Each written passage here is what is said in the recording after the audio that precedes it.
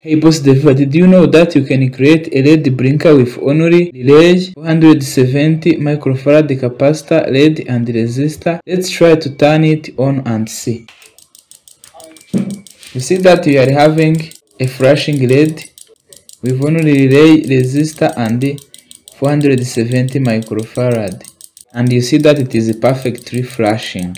Let's see how it is connected. Okay, having a component arranged in that way, you see that you have LED connected to resistor with the resistor connected to the cathode of LED. Now, the first step will be to connect 100 ohm resistor to cathode of LED. It is already done. Then use a wire to connect point C to A. Means the common terminal of relay will be connected to A, just like that. Then the third step will be just connecting 470 microfarad capacitor parallel to relay winding, just like this.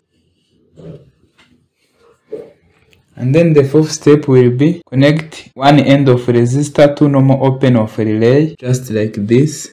And then the fifth step will be to connect the positive lead of LED to the positive lead of capacitor, just like this. The, the last step will be to connect the negative lead of power supply to normal closed of relay and then the positive to the positive terminal of both capacitor and, and the LED. And once that done, you are ready to go and you will be having this setup. Let me try to turn it on and see. I used 9 volts power adapter and then you see that we are having that show of red flashing.